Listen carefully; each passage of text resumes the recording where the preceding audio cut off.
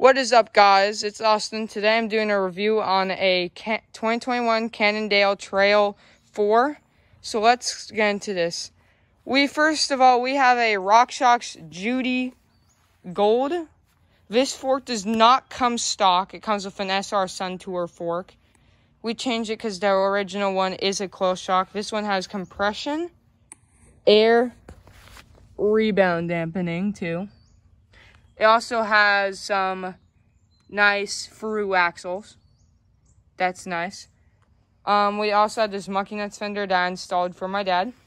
We have these WTB, also known as a Wilderness Trail Bike Trail Boss 2.25 wide tires.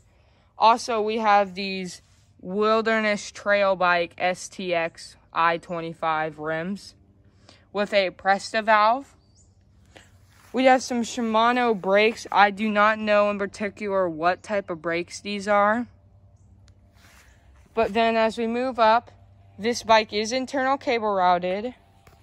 We have some Shimano Deore shifting.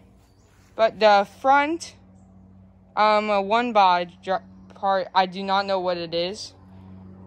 We also have these Cannondale grips. I don't like them, personally um, this free um, uh, head stem, stem, whatever you want to call it.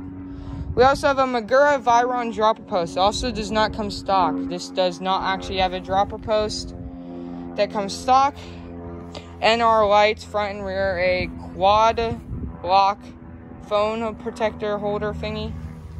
Um, we have this Pedidros and an extra 29er um, uh, inner tube. We also have these OneUp pedals, which is also on my bike too. We have this FSA Alpha drivetrain crank. So that's nice. Um, as we move back up another, here's the other NR light. We'll have this Cannondale seat.